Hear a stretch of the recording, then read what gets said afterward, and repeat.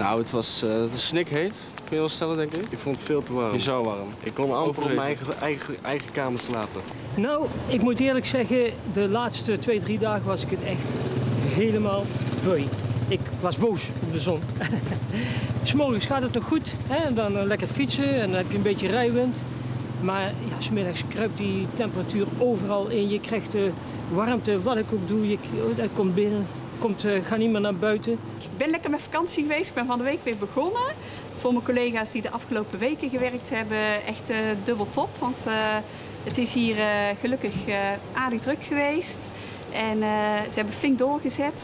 Het is heel warm, maar het hoort erbij. En we blijven altijd gezellig en vrolijk. En de mensen zijn ook lekker uh, gezellig en vrolijk. Gewoon lekker warm. Maar ik kon het persoonlijk wel hebben. Ik hou van warmte, dus ik heb ervan genoten. Lekker. Ja, ik ook. Lekker weer. Wij kunnen er goed tegen. Ja. Een paar graden minder is lekker natuurlijk, maar uh, zo is het goed. Heb ik ook nog zo'n lief klein konijntje waarvan ik denk, hoe kan dat beestje het allemaal wel trekken? Nee, ik, ik, vond het, ik vind dit nu zo veel idealer. En dan gingen we s'morgens vroeg fietsen. En smiddags lekker ontspannen achter in de tuin.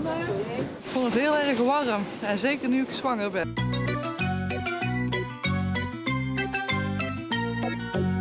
Uh, nou ja, ik, ik heb in ieder geval uh, achter ervoor gezorgd dat, uh, dat ik allemaal rolluiken heb nu. Ik moest nog één rolluikje bij de slaapkamer hebben. Het scheelt heel veel.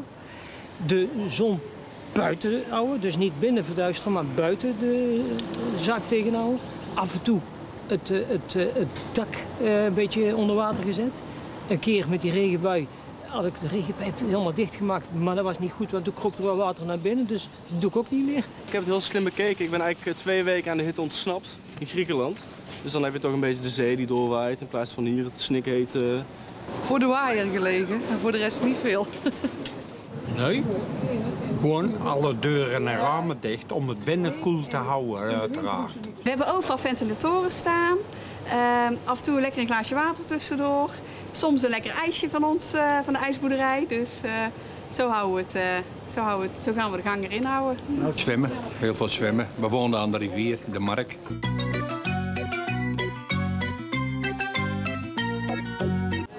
Dat het flink afzien wordt en een airco aanschaffen.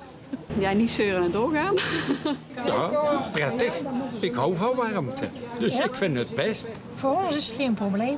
Dat vind ik niet leuk. Maar ik probeer uh, wel uh, aan de buitenkant zoveel mogelijk de zon tegen te houden. Ik heb gelukkig uh, al best wel wat bomen achter. met misschien nog meer tegels eruit, minder straling. ja. Nou, dat we nog vaker mogen zwemmen. Dat betekent veel verkoeling, veel perenijsjes op straat, denk ik. Smiddags uh, de siesta gaan houden. Ik verwacht de komende winter heel veel sneeuw. En ik ben bezig met vloeibare kurk om te kijken of ik die op het dak kan spuiten. En het schijnt dat dat ook uh, heel goed uh, helpt.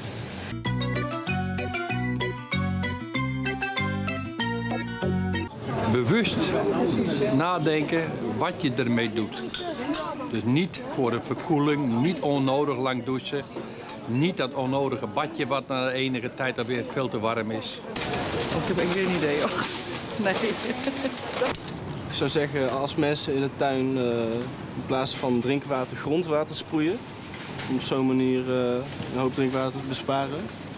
Echt alleen gebruiken wanneer het nodig is en kort douchen.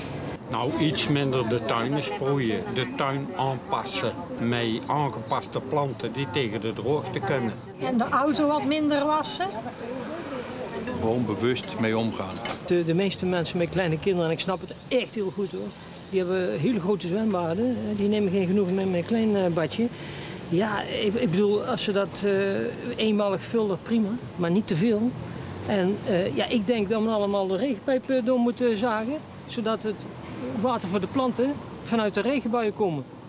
Maar die komen er ook aan, de regenbuien. Dus gebruik dat water en uh, ja, het, drinkwater uh, misschien duurder maken. Ze moeten het drinkwater gewoon duurder maken in deze zomer. Zodat de mensen bewuster ermee omgaan.